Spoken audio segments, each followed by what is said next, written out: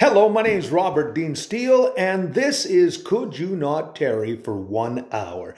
Well, it is, of course, the January 29th edition, and uh, tomorrow, of course, will be our service.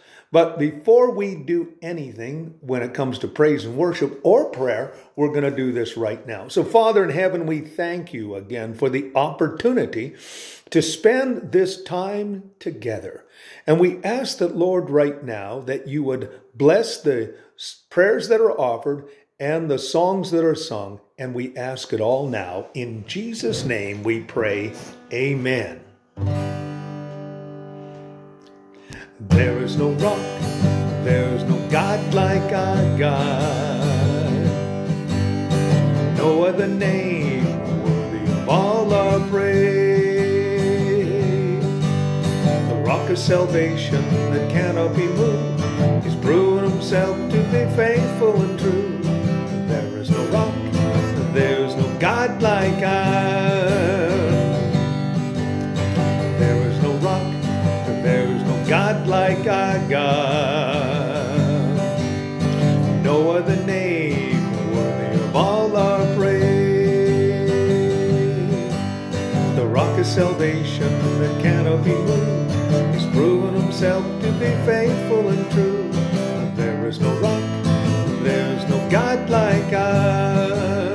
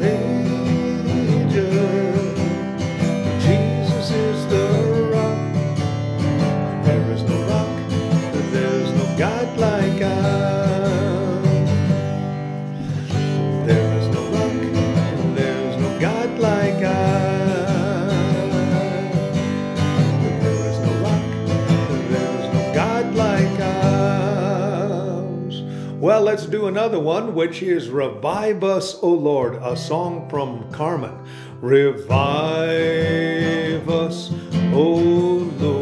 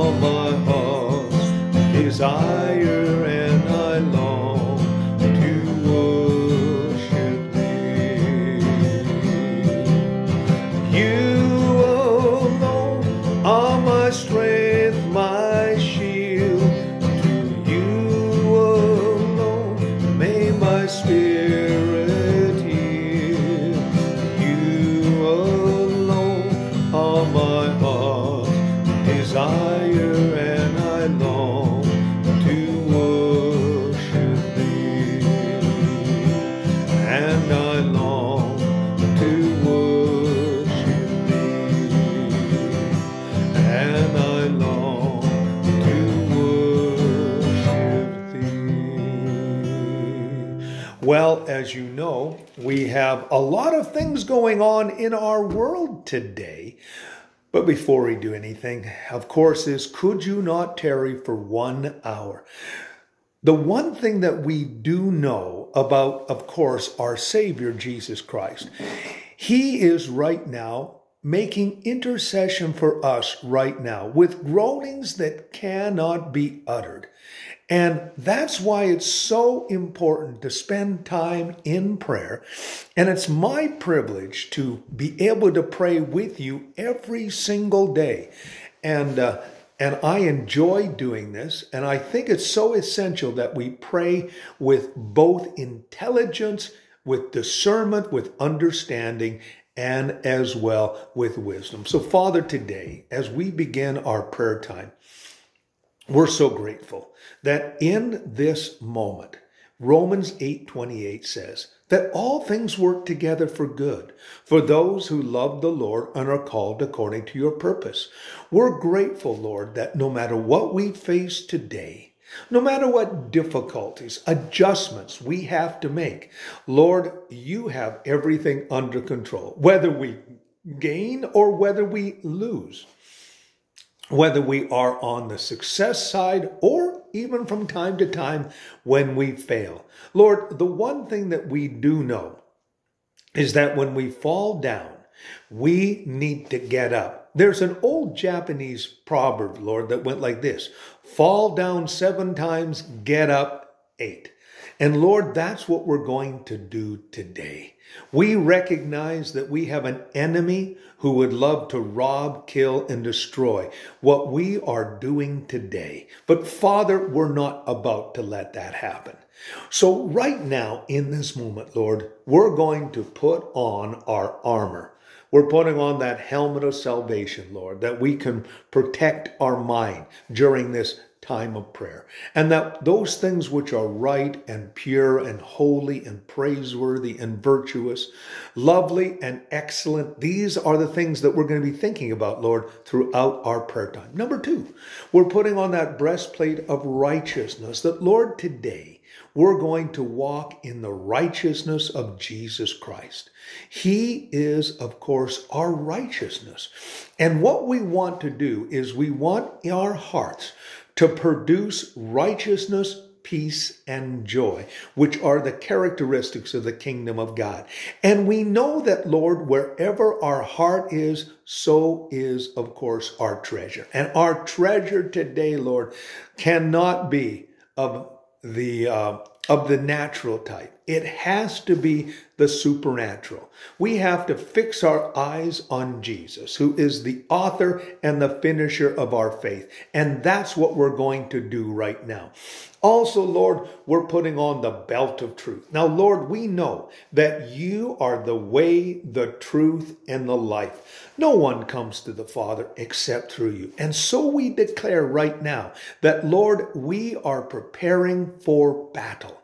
We put on the boots of peace. Lord, we thank you that today we are clothed with righteousness. We are clothed with, of course, uh, truth. And of course, we have that helmet of salvation, Lord, that we're clothed with salvation. And then all of that enables us, Lord, to go into our world and take it.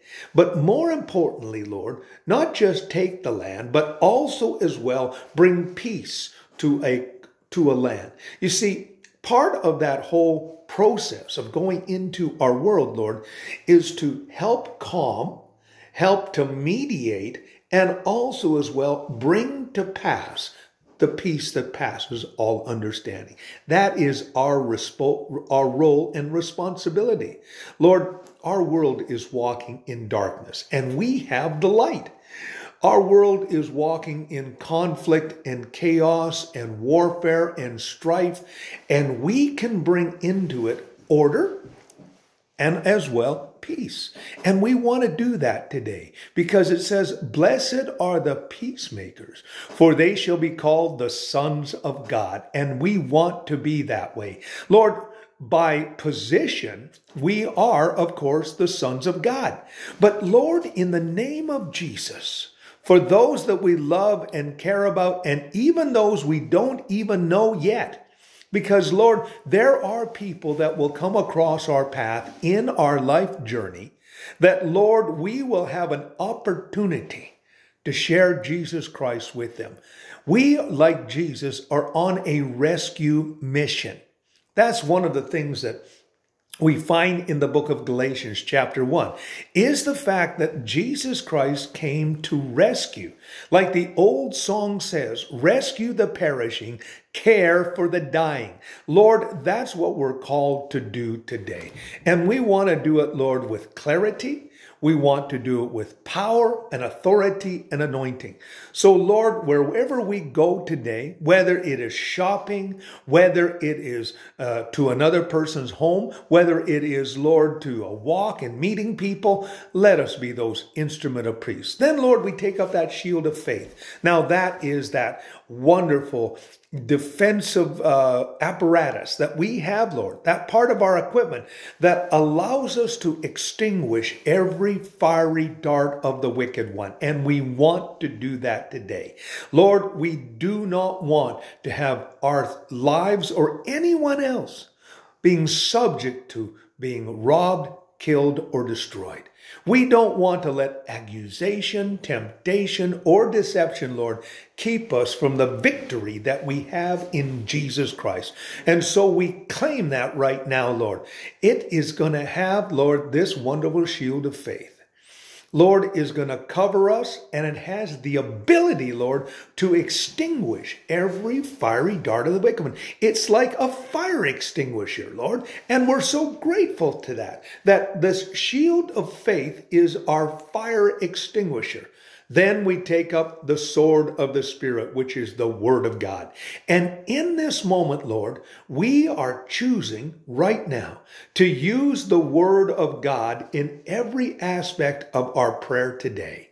That, Lord, today, it will be our offensive and defensive weapon against the enemy today.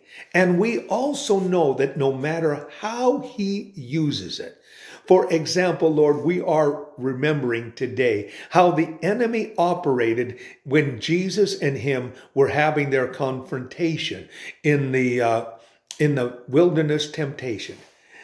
The enemy would use his his subtlety and he would say, "Turn these bread turn this stone into bread. And Jesus would simply say, Man does not live by bread alone. Immediately, in the mind of the enemy, says, Oh, he's using the word of God. So then he flips the switch over and he kind of uses the word of God. He says, Well, it does say in Psalm 91 that the angels of the Lord will cover you or catch you if you jump off this cliff. And Jesus says, I'm not putting the Lord your God to a test. That's the way the enemy operates. He always twists it. He always turns it into a, a, a, a deception.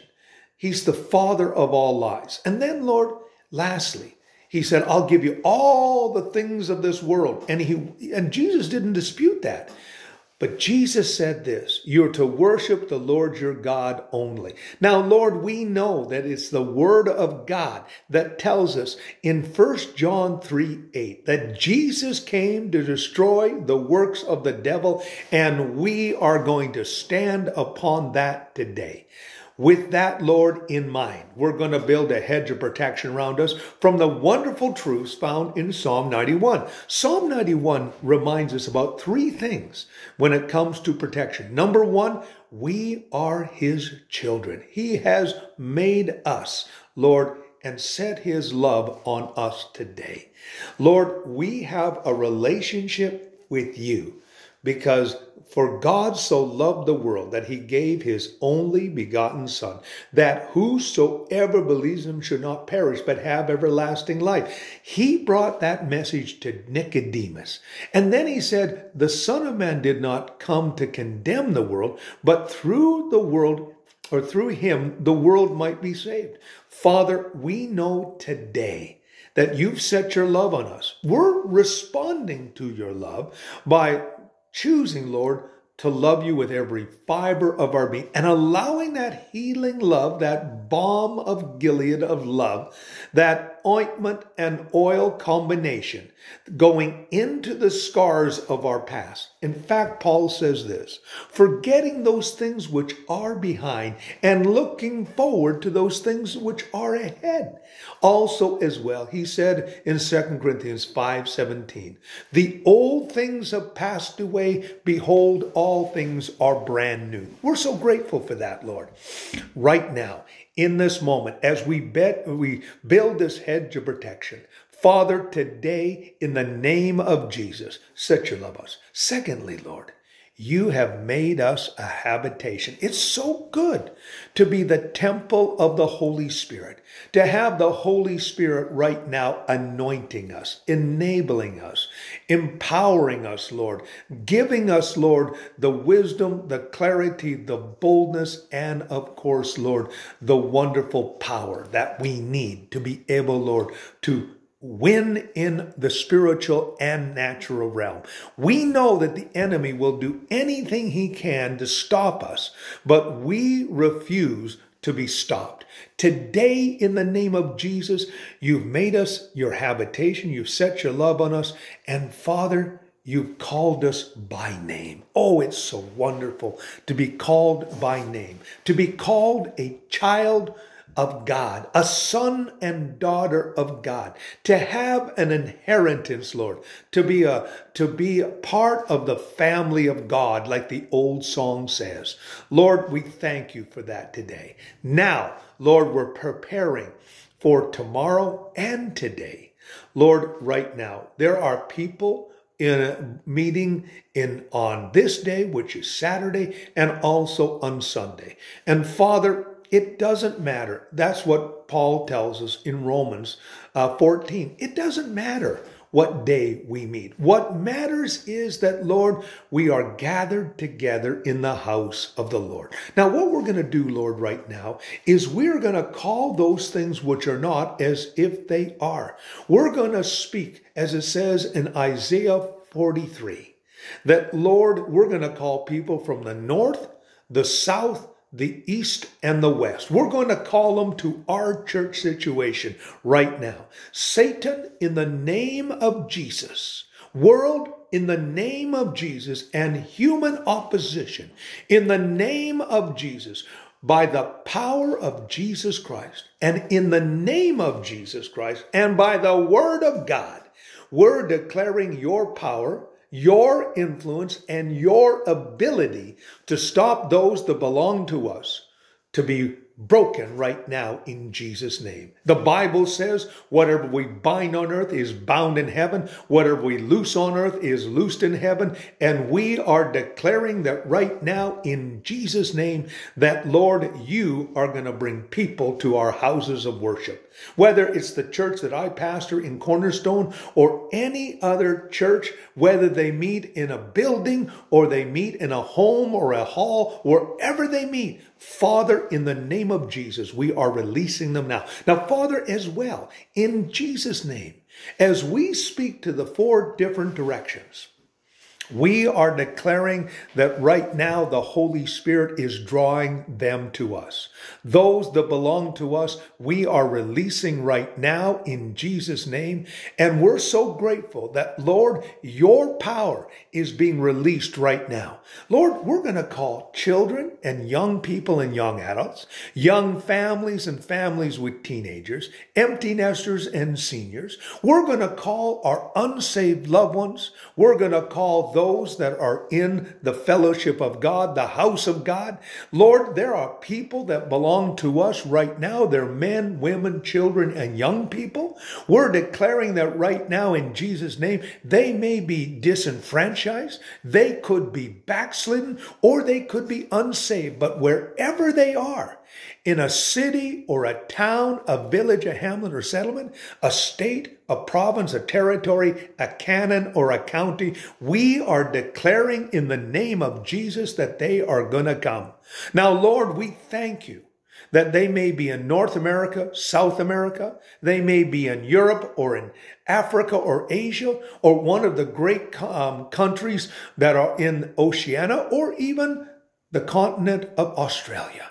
Father, no matter where they live, no matter who they are, we are calling them right now in Jesus' name and declaring that they belong to us right now. And no hindrance, no blockage, nothing is going to keep them from coming from to, from us today. And we declare today that, Lord, your power is going to begin to be released. Now, Father, we know that there are people who love the moving of the Holy Spirit. We are calling those worshipers, those praisers, Lord, right now into our churches in the name of Jesus. We're calling them to my church. Cornerstone Community Church. And we're calling them, Lord, to every church where they belong. Secondly, Lord, we're calling those who love the moving of the Holy Spirit. Oh God, we pray that Joel 228 would become our reality, that you would pour out your spirit upon us, Lord, and that all of us, Lord, would receive something very special today. We know that, for example, Lord, there are nine gifts of the Spirit tongues, interpretation of prophecy, faith and healing and miracles, word of wisdom, word of knowledge, discernment. We are releasing them, Lord, into our churches right now. We are also releasing, Lord, the wonderful fruit of the Spirit the love, the joy, the peace, the kindness, the goodness, Lord the righteousness, Lord, the faithfulness, Lord, the gentleness and the self control that comes from you. Also, as well, Lord, in this time and place of prayer, we are asking that, Lord, right now, that you would establish us in homes and places where we meet, wherever it may be, Lord, you are going to begin, oh God, to bring to us, Lord, that wonderful blessing of the Lord, success, generosity, Lord, and as well prosperity. Father, it tells us in 3 John 2 that we are going to be in prosperity and health even as our soul prospers. Thank you for that. Thank you as well that, Lord, you're going to begin to bring to our churches people who love to pray. Father, in the name of Jesus, we are releasing our prayer warriors. We are releasing our intercessors. We are releasing those special individuals that have the ministry of prayer. And Lord, we thank you that they're joining our churches right now. And we are declaring that in the name of Jesus, your power, your might, your dominion is falling upon them. We break frustration and discouragement. We break off, Lord, right now in Jesus' name, all forms of depression and oppression in the name of Jesus. And we are calling people back to health and wholeness and victory right now in the name of Jesus. All forms of mental attack, whatever they may be, Lord, we are declaring them null and void right now because, Lord, your word says this that you've not given us a spirit of fear. We're throwing off, Lord, right now any fear. And we're receiving right now your power, your love, and of course, your sound mind. Lord, it is love that is the foundation of the power that we are beginning to exhibit and demonstrate in our lives. And also, as well, Lord, we are receiving the soundness of mind. We will have a mental uh, goodness, Lord, and mental health right now in Jesus' name. Also, as well, Lord, we pray right now for those who have the ministry of prayer. Now, we've talked about it already. Release them, Lord, right now. And the people who love the Word of God. Father, we know that it is the Word of God that is quick and powerful and sharper than a two-edged sword. And we want to make sure that, Lord, we are rightly dividing the word of truth. Also, as well, Lord, we are praying right now in Jesus' name that Father, you are going to release the anointing that's going to break the yoke. We are going to use the word of God, Lord, in every aspect of our prayer. We're going to season and we're going to salt and we're going to use the word of God as our offensive and defensive weapon, Lord, within our prayer times. Also, as well, Lord, right now, we are releasing people who love to give. Now, Lord, we know that God loves a cheerful giver. And Lord, we know that as we sow into our world with our time, our talents, and resources, we know that, Lord, what's going to happen out of that is this that, Father, you are going to give us, Lord, the abundance 30, 60, and 100 fold. Lord, we're not asking today that we would become so wealthy and we would hoard it unto ourselves. Instead, Lord, what we want to do is we want to release right now in Jesus' name that, Father, we would be able to meet every need and touch every situation. That's why we're praying for abundance. And we're praying for givers to come into our churches so that we don't suffer any lack. We know that during this pandemic, many churches have been struggling financially, but Lord, that's not going to happen anymore. Today, in the name of Jesus, we are releasing finances into our world and we are declaring that, Lord, we are going to see an abundance in God. You supply every need and you do it with abundance and you do it, Lord, with success and prosperity. Lord, as well, we pray for those who serve. Father, in all these things, we pray that we will have a servant attitude and a servant heart that as we as we serve you lord and we do it with diligence we do it with obedience we do it lord with thankfulness and gratitude because lord we're not serving ourselves. We're serving the lord jesus christ and we are encouraging others.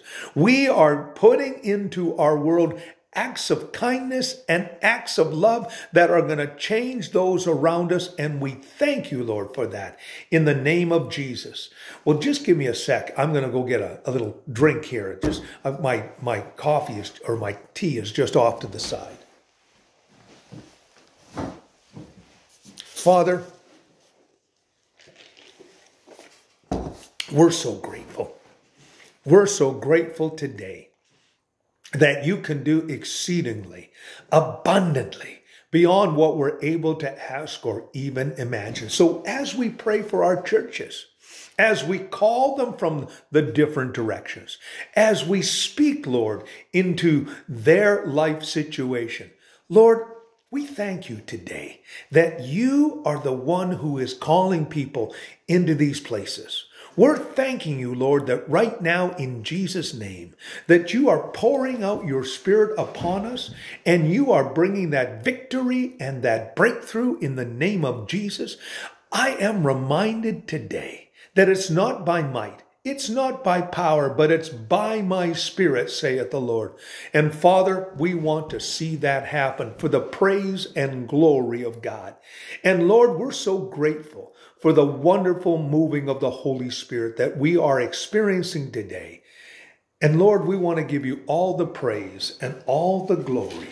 In Jesus' name we pray. Amen. Create in me a clean heart, O God, and renew a right spirit within me.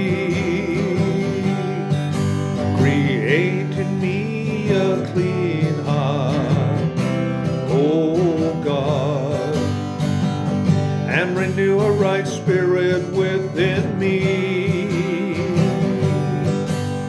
Cast me not away from thy presence, O Lord. Take not thy Holy Spirit from me. Restore unto me the joy of my salvation and renew a right spirit within me. Create in me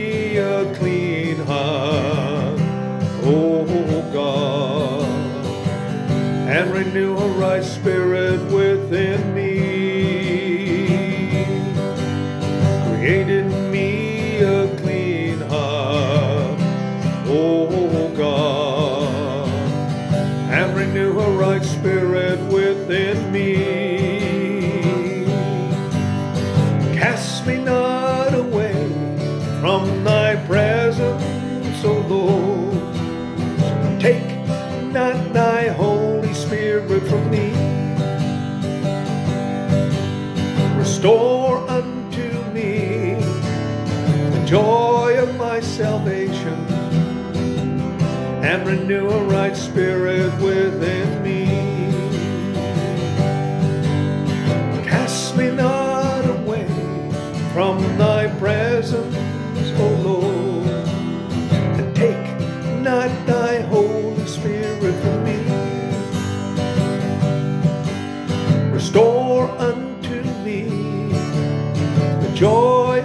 salvation and renew a right spirit within me. And renew a right spirit within me. And renew a right spirit within me. Well, that's what David prayed in Psalm 51. Now, it's interesting that David actually, the whole incident, of course, was not a good situation for David. If you follow the story, which is found, of course, in 2 Samuel chapter 11, where David had uh, basically, you know, he was in Jerusalem, not going out into battle, and he saw a beautiful woman named Bathsheba. Now, he saw her bathing, and uh, of course, he allowed his um, desires to run ahead of him. And what happened was this he, being the king, he could do anything he wanted. And of course, him and Bathsheba had relationships. And the outgrowth of that was the fact that Bathsheba got pregnant. And so he brought Uriah, who happened to be her husband, back to Jerusalem to try and disguise what would happen. He said, You know what we're going to do? We're going to have you sleep with your husband, and in that way, it'll be okay. Well, Uriah, through a series of events, didn't do that. And so David decided, which unfortunately he did, he thought, What I'll do is I'll send a letter with Bash, with Uriah. And this is the irony. He sent the letter to Joab, who was the commander of the Jewish army, the Israeli army, who was at the time at war with the Ammonites, and they were trying to take the city of Rabbah, which happened to be the capital of the Ammonite Empire. And David sent this letter, and he, he simply said, Make sure that Uriah gets put up at the front and uh, so that's what happened. And Uriah was killed. And so when they found out, well, they, of course, there was a, a, certain mourning period. And then what David did was he came in and he took Bathsheba for his wife. Well, they had this baby. And then unfortunately, um, well, it wasn't unfortunate. The prophet Nathan, the prophet, came along and uh, basically exposed David. And David of course, was devastated. He was devastated because number one, he had caused the death of an innocent man, and number two, he had been caught in the act of adultery. Even though he was a king, he was still guilty in the eyes of God. And so David, of course, repented. Now, there was consequences to what had happened. There always is consequences to what we do. And David and Bathsheba lost the child. But the other upside is that David repented, and that's what Psalm 51 is all about, where David said, Lord, create in me a clean heart, O God, and renew a right spirit within me. See, David, when he had fully repented, and 1 John 1 9 says, if we confess our sins, he is faithful and he's just to forgive us of our sins and to cleanse us from all unrighteousness. Isn't that a great promise? David repented. And the next child that came out of his and Bathsheba's relationship was Solomon, who was known as the wisest man of his generation. And next to Jesus Christ was, of course, the greatest and wisest man that Israel ever had. You see, out of the ashes, out of the consequences of our sins, actually, that's what it says. He gives us beauty for ashes, the oil of joy for mourning, the garment of praise for the spirit of heaviness. When we allow God to do his perfect work, when we say, Lord, you know what I'm going to do? I'm going to turn away from those things. So let's do that right now. Father, like David of old, we're going to turn away from those sins and weights that so easily beset us. And Father, in this moment, we're going to believe that you're going to give us beauty for ashes, that oil of joy for mourning, that garment of praise for the spirit of heaviness. We have experienced these things in our lives. We can't live life without experiencing something like that. But Lord, there's another side to our story. I love the wonderful illustration of Gideon. When the angel came to the uh, man named Gideon and called him a mighty man of valor, even though he hadn't done one single brave thing yet, God was looking at him in the future. And he looks at us not as we are right now, but as we are going to become. And we're so grateful for that, Lord, that you are looking at us not as we are right now, because you know that our story is still being written. You know that there are still chapters in our life story. Father, we don't know what each day brings to us. So that's why it says, The mercies of God are new every morning. Great is his faithfulness. We know that, Lord, the reality of the situation is this. There is no guarantee that we're going to make it throughout the remainder of this day. But Lord, we do trust you because the Bible says the steps of a good person are ordered by the Lord. And we desperately, Lord, want you to order our steps today. We desire, O God, to do your will. In fact, it was Paul who said, I beseech you, therefore, brethren, by the mercies of God, to present your body as a living sacrifice, holy and acceptable unto Him, which is our spiritual worship. Lord, we're going to do that right now. We're just going to present ourselves to you right now. And Lord, we know that giving our lives to you, seeking first the kingdom of God and his righteousness, we know that all the things are going to be added to it. But Lord, it says we cannot conform and we don't want to conform to the images or the standards of this world. We know that, Lord, they bring us into darkness, not light.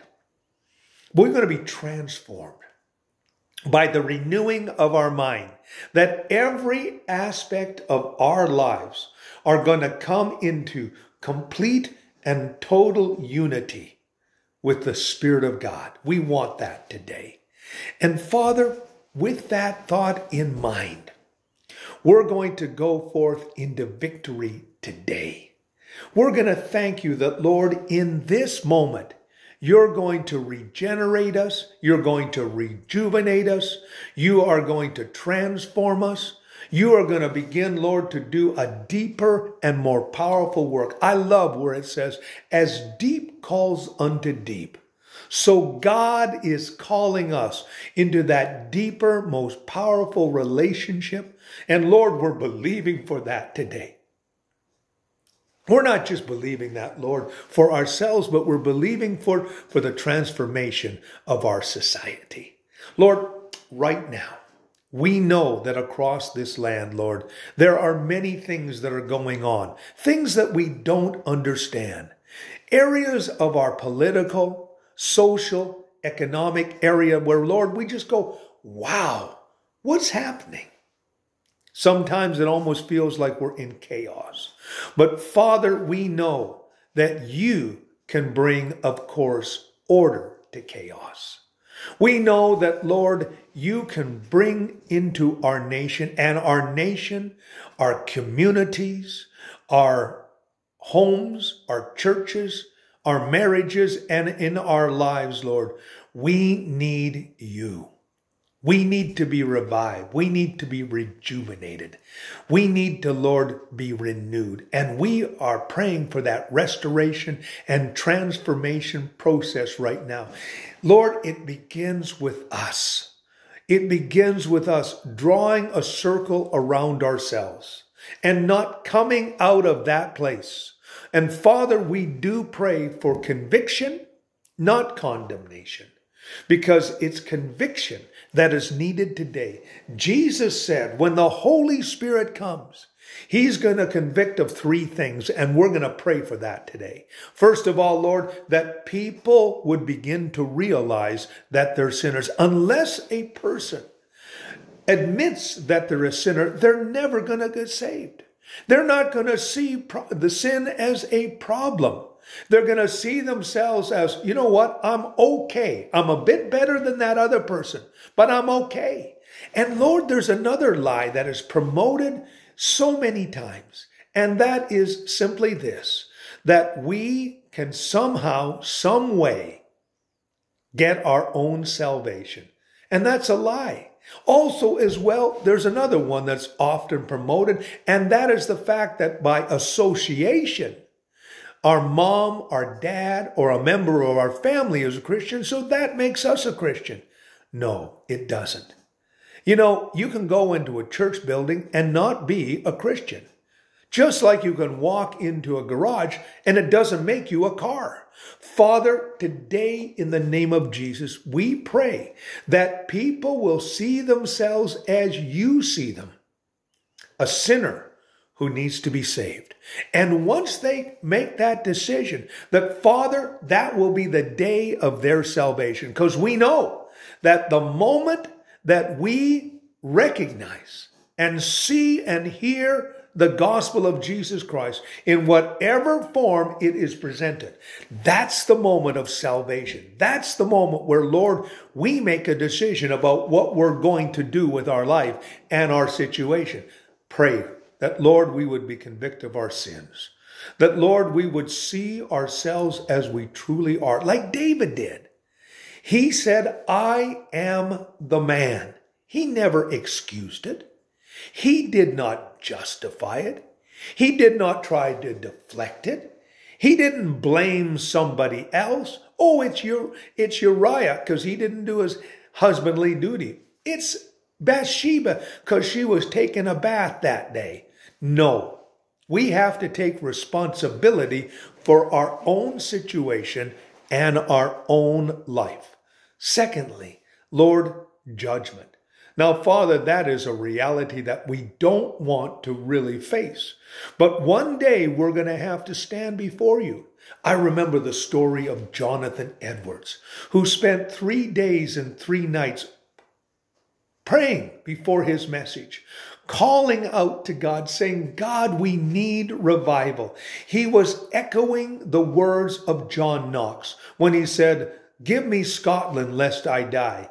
He himself said, Lord, give me New England lest I die. And of course, we know that he went into his sermon and he preached the sermon sinners in the hands of an angry God. And he was talking about the fact that people, if they don't get right with God, whether we like it or not, whether we understand it or not, whether we agree with it or not, that is where they're going to find themselves.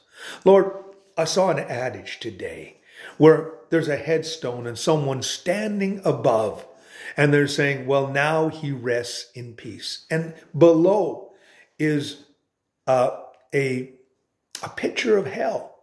They're not resting in peace. Lord, they're in pain and sorrow. They're like the rich man. He simply said, Let Abraham, he said, Abraham, send Lazarus so that I can at least get my tongue dipped. Father, that is a reality that we don't want anyone to face. Jesus said that none should perish. Peter said God doesn't want anyone to perish. He wants all of them to come to the knowledge of the truth. And Lord, that's what we're praying for, that people would realize that there is a heaven to gain and a hell to shun. And we don't want anybody to go there, Lord. That's why we're praying for people today. That's why we're praying the next thing that the Holy Spirit would speak to them about their sin and that there are consequences to the choices that they make. I, Jesus said this. What does it profit a man if he gains the whole world? We have people today that are gaining the whole world, but they're losing their souls. And Jesus said, What value can you put on a soul? There is no value that you can put on a soul. It is priceless and precious in God's sight. And that's why Jesus Christ came, because he came to save us, to turn us from sinners into saints, to turn us from the lost to the found. That's what he came. And Father, we can be made righteous 1 John 1 9 says, If we confess our sins, he's faithful and just to forgive us of our sins and to cleanse us from all unrighteousness. Romans 10 9 and 10 says, What we need to do is believe in our heart and confess with our mouth. We want to see that happen. Lord, we stand a wonderful, wonderful promise for our loved ones today. Acts 16 31 that says, Not only shall we be saved, but our household as well. We're also, Lord, making that wonderful declaration of Proverbs 22 6. Train a child in the way they should go, and when they're old, they will not depart from it. Father, we want to see that happen in our life situation. We want to be able to declare, like Joshua did, in the days that he was finishing his ministry after he had conquered Canaan and he was doing his final instructions to the nation of Israel. He said, Listen, you can choose today who you serve. But as for me and my house, we will serve the Lord. What a statement. The patriarch of his family, Joshua, said, As for me and my house, we will serve the Lord. Lord, I pray that that will be our aim and goal. And as fathers and as leaders in our home, I pray today that the men will be like Job, who offered sacrifices and prayers daily for his family.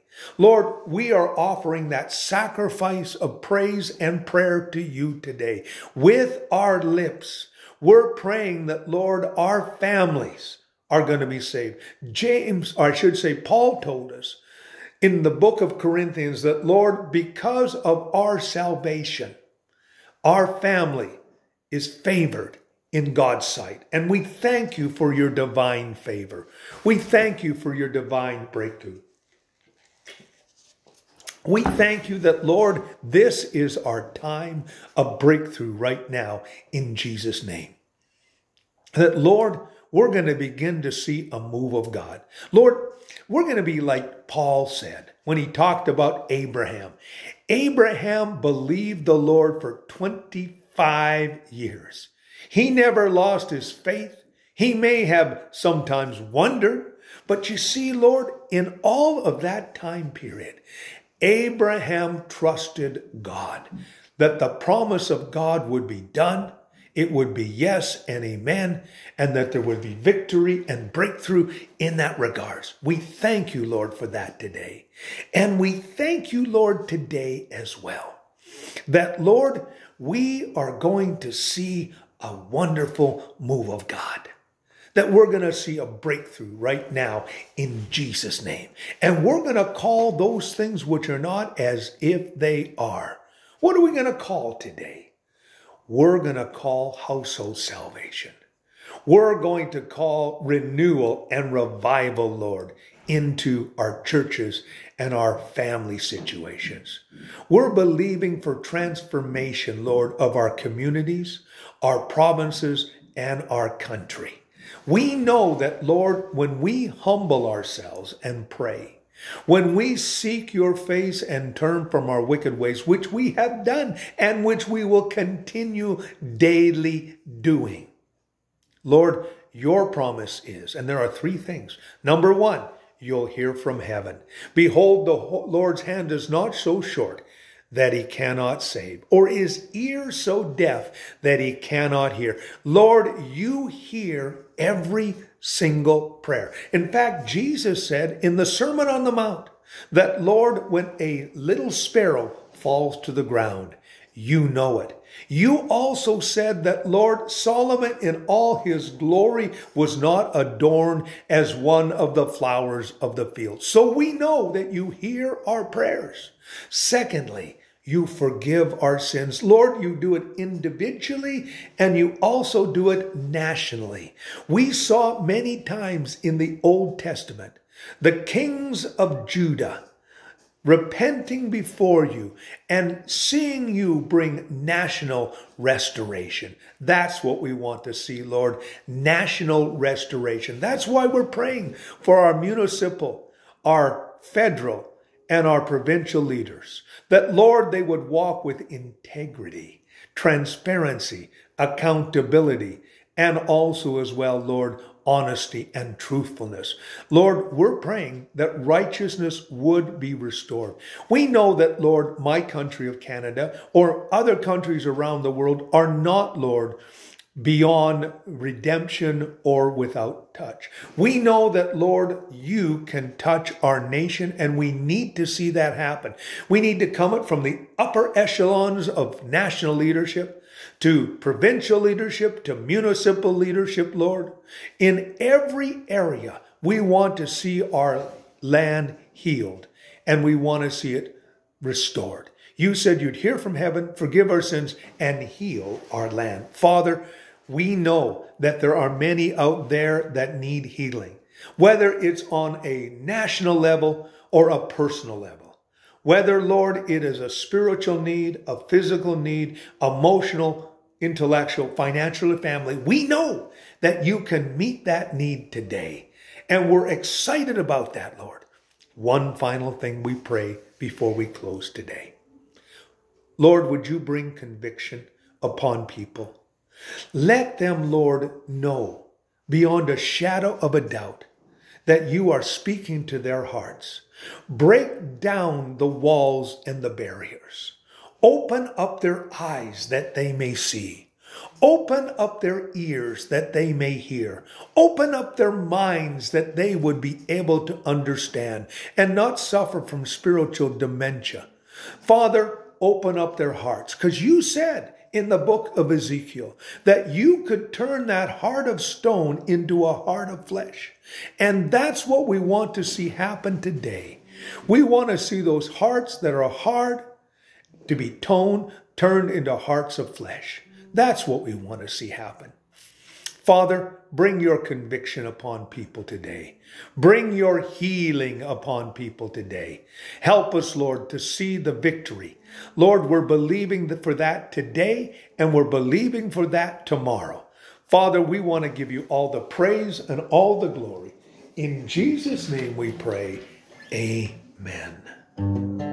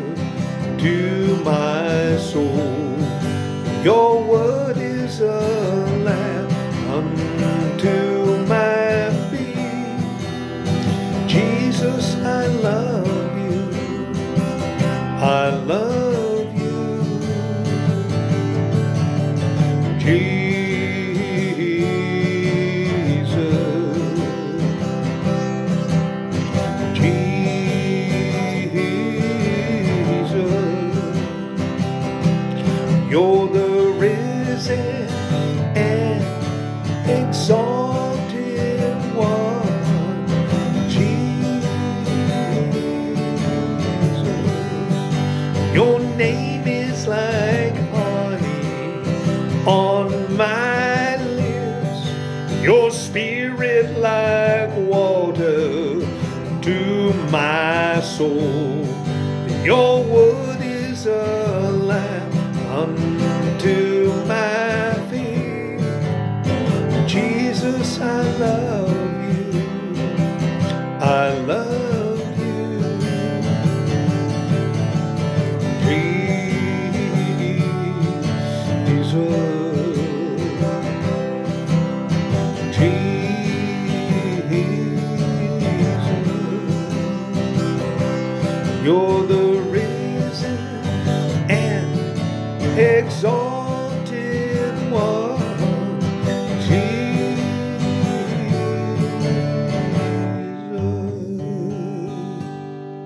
Well, I want to thank you so much for spending time with me today.